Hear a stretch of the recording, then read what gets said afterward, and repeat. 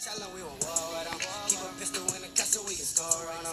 Put my niggas in the cell, I pour a four for 'em. Thinking sons, but they spending, they ain't doing nothing. Now they ain't doing nothing, said you gon' take some. So when you see me, pussy nigga, better shade some.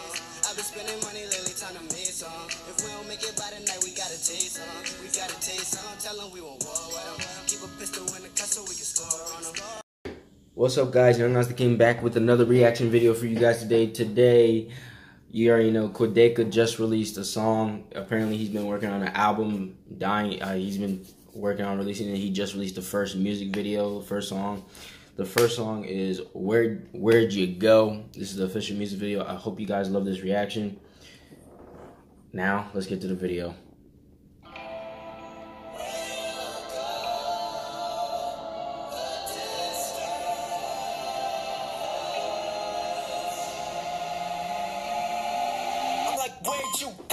I came in the shit out of nowhere, yeah. I didn't mean to scare you, bro. Look around, they like where he go. Now they see me everywhere. They like there he go. Back again. Every track when it laps again. Same old me with the same old dreams, but I'll never fucking think about a past again. Yeah, no matter where I go, I'm not fitting it. Back in my class, I left on my track since I was a little kid. They had me wanting to quit, I was all alone cause I ain't following the shit. And I look how ironic it is cause they followed the kid shit. Back in the mix, I'm in the game now. The industry think I'm a gimmick, they laugh at me, it's all the same now. So I'ma clap my hands, a perpetual misfit. Numbers get big, my math skills simplistic. Watch them all cry, I'm low key sadistic. Blink three times, uh, I'm like the way go. Oh, oh. I came in and shit out of nowhere, yeah, I didn't mean to scare you, bro. Used to look around, they like, where he go? Now they see me everywhere, they like, there he go. Uh, back again.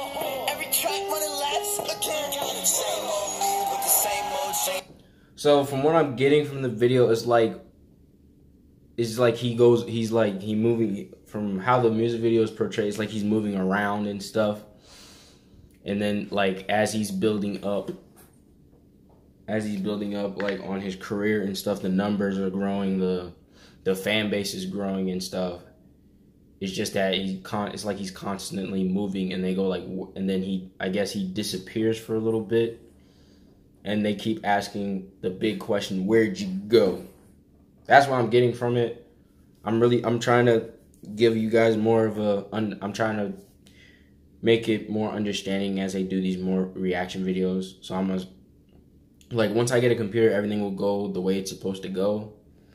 But other, than that, let's continue. Let's continue.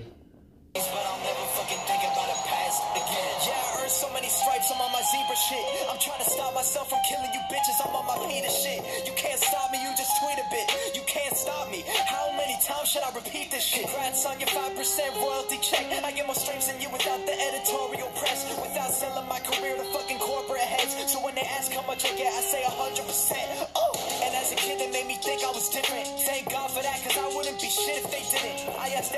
are you gonna go the distance? I just heard no and no and no, like Simon Cowell in the show's decisions. Uh, so maybe I'm better off not being fucking accepted. Every they presented, I went across. Told me there wasn't a light, so I built me a plane and I got in and headed off. They can't see me through the clouds, they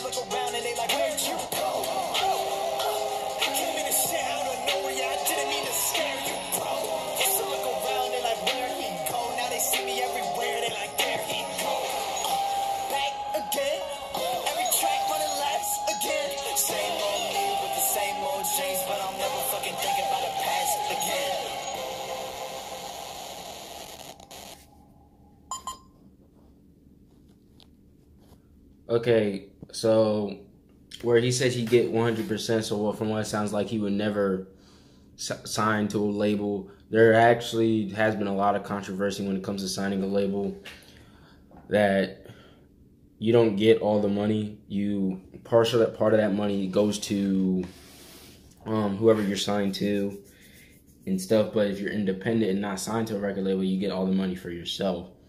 And then that's why nowadays there are a lot of artists that go like it's a bad idea to get signed. Like Joyner Lucas, I'm pretty sure if you guys heard Joyner Lucas left Atlantic Records and went back to being an independent artist for that reason because he lost a lot of money because of it. Because I guess he had to do this or that or whatnot, you know. But hey, I mean, everybody makes decisions for a reason. Personally, if if personally I love music too. If I was, uh, I'm still doing music right now, but personally for me, I would never want to be signed. Per, I would never want to be signed to a label because I feel like you lose too much money.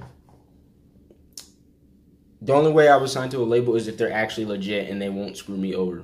That's the thing, you know.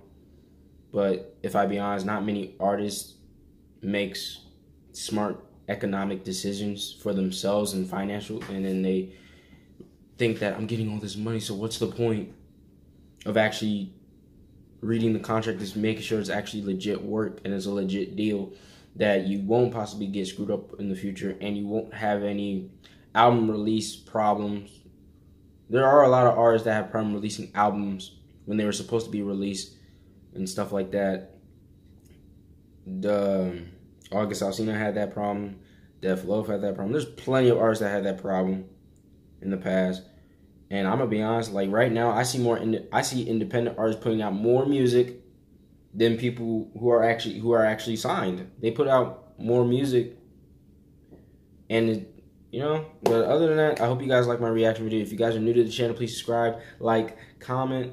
I will be releasing a vlog pretty soon you know, uh, just to give you guys an update on everything about what I've been up to or whatever the case may be like that. Other than that, I wish you guys a very happy, blessed day. Peace.